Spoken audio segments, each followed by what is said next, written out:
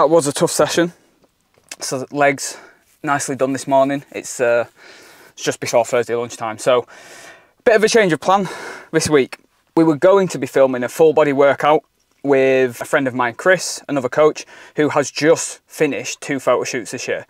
So we were going to film a full body workout together, we were going to go through some top tips for a few exercises, and then we were going to talk to Chris about his experience with the photo shoot diet, the day itself, what he's learned from it, how he found it, everything like that. But unfortunately, he's a little bit under the weather, so we're going to save that for a future week, and we might even do a little bit of a physique update in the future week. So what I thought would be really cool to do instead today would be a quick video on how I got here. So my story, how I got into fitness in general, and then how I fell into coaching and how I got to where I am today. I've spoken about this a little bit in the past on the channel and on various podcasts, but I wanted to really dive into it today because there's a lot of new faces to the channel recently, which is super, super cool. A lot of new faces to my page, so I wanted to actually dive into this a little bit more to give you a deep background into basically where I'm at and how I got to this place right now. So I'm gonna head home, get a shower, get something to eat, and we're gonna dive straight into that. But first off, as I haven't even said it yet, welcome back to the channel. Hope you're doing good. As ever, do that YouTube thing, like, comment, subscribe on it. I'm gonna drive home and get a shower because I am well sweaty, and then we'll dive into the episode.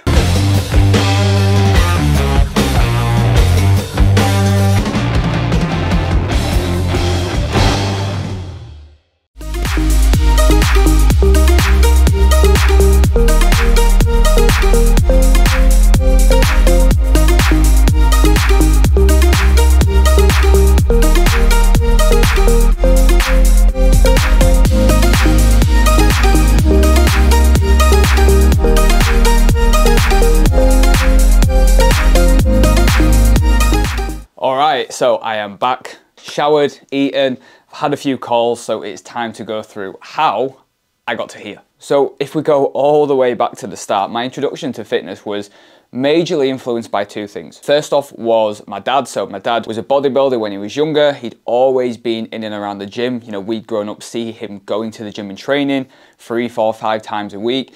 We'd even go with him sometimes and sit in the reception whilst he was training and then come back home with him. We'd been brought up around fitness, around training, around all these different things. And then the second reason was at the time I was playing rugby. I played rugby for about eight to 10 years. And when I first started within those first couple of years, I wanted to go to the gym to start improving my strength, improving my fitness, to help improve my performance at rugby. So those were the two main things that drove me to go to the gym in the first place. But also beyond that, I just wasn't really happy with how I was looking. So I was a very active kid. I played rugby and went to training a few times a week. I did athletics. I would be out and about as much as I could, but I was a bit of a chubbier kid. Not a massive kid, but certainly chubbier than most of my friends and brothers and stuff like that. Enough for me to be aware of and feel like it was unfair when I knew I was doing more from, from an exercise point of view than friends potentially who were just naturally a lot skinnier than me. So that was another big driver for me going to the gym in the first place. And I literally joined up a gym when I was about 12 years old. So I joined up the local leisure centre, which was you had to be 12 accompanied by an adult to get signed up to there. So I went down with my dad to that. We got an induction to there. And for the first couple of years, that was my training. Going down to the leisure centre with either my dad or my brother. There was no structure, there was no planning. It was literally just show up, know we were going in with some sort of idea of, okay, today we're going to do chest and back or shoulders and arms. And we just did whatever we felt like doing. We weren't really keeping an eye on our progress or anything like that. It was just go in, show up, lift some weights, go home. And that was the case for the first two years at least. And then when I turned 15, I was then old enough to join the independent private gym that my dad was at that he'd been training at for literally like 20, 30 years. So as soon as I was 15, super excited, got an induction down at that gym and then things really started to change from then on because at 15 years old I started to take it a little bit more seriously. I started to try and plan my sessions out a little bit more.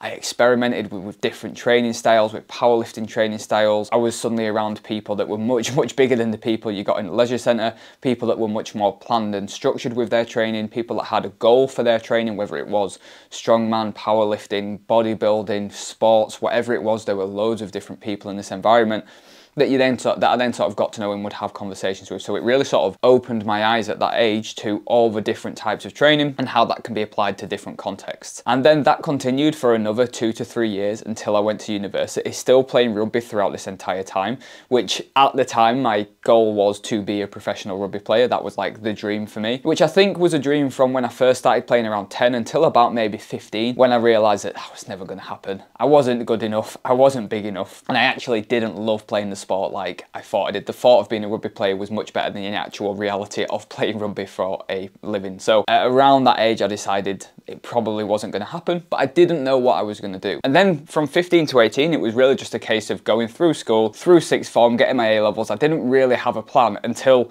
just before the deadlines for university, I was told about a course called Strength and Conditioning, which was essentially gym-based training for athletes and helping athletes with improving their performance, their strength capabilities, fitness capabilities, everything like that. And I thought, this is perfect.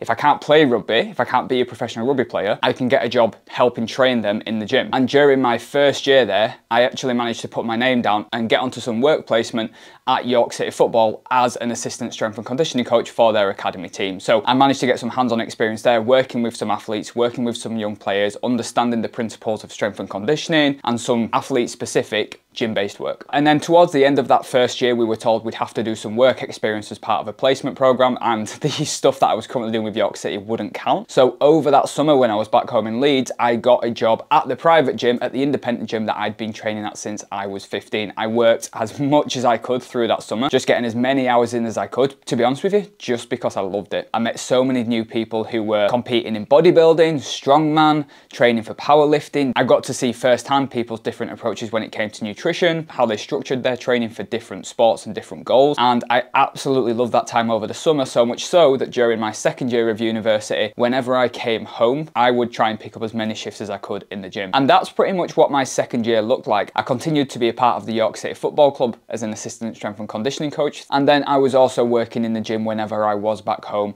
on top of my studies and everything like that. And that's exactly how my second year at university went. I was loving the degree, I was loving learning more, all the way through through to the end of my second year at university. And then from my third year, things started to change a little bit. So at this point, I was approached to go to Wakefield Trinity, the rugby league team, and start helping with some strength and conditioning work with their scholarship team, which was fantastic because it was literally the role that I'd been wanting to get towards, which was a strength and conditioning based role within professional rugby league. So at this point, I was in my third year of uni, I was traveling back and forth, I was working in Wakefield, I was still working in the gym four to five days a week. And then I'd also completed at this point as part of my degree, my gym instructors and my personal training for qualification. So I managed to get those under my belt within that third year of uni. And then when that year came to an end, over that summer, I'd been invited to go on a rugby tour to Australia and New Zealand with a Yorkshire touring rugby team as their performance analyst. I'd been doing a little bit of work as a performance analyst over my last two years at uni with the Yorkshire County teams, which meant just basically putting GPS trackers on athletes, tracking their data, tracking how many meters they covered, how many tackles they made, tracking their performance in the games, who was performing well, who wasn't, filming the games, breaking that footage down, feeding it back to players in training sessions. And I was basically asked if I would be interested in doing this for a team during their tour of one week of Sydney one week in Auckland and one week in Wellington, which I was never ever to say no to. So I spent three weeks over that summer after I'd finished my degree with a rugby team, helping as working as their performance analyst. And I realized whilst I was out there that I literally had nothing to come back for in terms of I had no plan on what to do next. I'd finished my degree, I was working at Wakefield, I was working in the gym, but I didn't really have a long-term goal for what I wanted to do. And actually I'd started to realize that strength and conditioning maybe wasn't the direction that I was wanting to go in. So I remember being sat in a hotel room in Sydney on that first week and trying to figure out what I was going to do when I was back. And I came to the realization that the one area that had not really been touched on in any real detail was nutrition. And that was an area that I was really, really, really interested by as much for my own physique change and my own physique progress than anything else. So I decided that it was something that I wanted to learn more about and I enrolled whilst I was out there onto a master's degree in nutrition back home in Leeds. So I went out to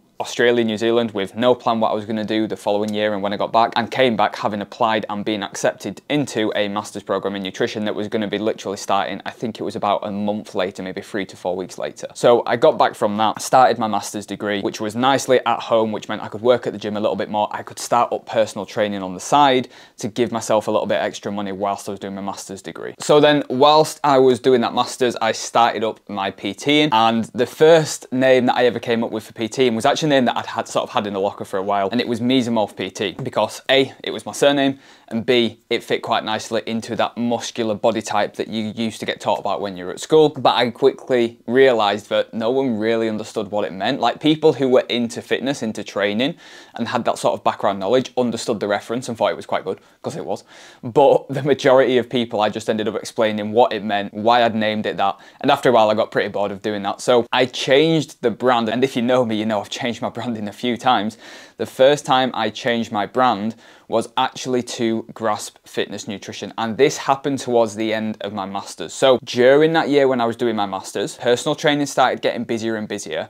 And I started to realize that the strength and conditioning route that I was at with Wakefield wasn't the direction I was wanting to go in with a career. So I stopped the strength and conditioning role to be able to better focus on my masters and also get busy with personal training so that by the end of that year of doing my masters, I was working in the gym still and personal training as much as I could. And it stayed like that for a good couple of years. So over the next few years, I decided that I wanted to go on and do a PhD. I wanted to continue down the academia route, but I wanted a year out just to basically work, earn some money, have a bit of time away from academia and reading and studying, and then go back to it. And we did that for a year. And then towards the end of that year, we actually, me and Sophie moved to York. And at that time, I was personal training in York. I was still personal training in Leeds. I was working at the Leeds gym and I was doing the odd shift here and there if they needed help at the York gym, but nothing that much under the brand name of Grasp Fitness Nutrition. And at this time, I actually started applying for PhDs. So I think one of the ones I applied for, which I ended up going through the whole process of, which is a crazy, crazy rigorous process, was for an exercise physiology and cardiology PhD. And I actually managed to get down to the final three candidates, which I was really pleased with because I didn't really want the position. I just wanted the experience of applying for one so that when a position came up that I wanted, I'd have that experience and know what to expect when it came to applying for that PhD. And then continued looking for other PhDs coming up. And then lockdown hit. Pretty much overnight, I had to either go completely online with what I was doing from a coaching point of view or find a new job altogether. And for me, it wasn't really an option to do anything else. I was fortunate that I already had a couple of online clients at this time, so I already had some things in place with how to work with people online. I transitioned all my one-to-one -one personal training clients onto online through lockdown. That is what I did. But during that period of time, things got really, really busy, which I was not expecting at all. And I actually started to realize that I really, really loved the online coaching side of things. I was seeing better results with clients. They were enjoying the process more than when they were having personal training. We were keeping better track of things. We were being more accountable to things. We had clearer targets on things and the results were getting better and better. And I was enjoying the job more and more. As lockdown went on and on and things got busier and busier, I started to lean towards the side of not actually wanting to go back and do a PhD, not actually wanting to go down the academia route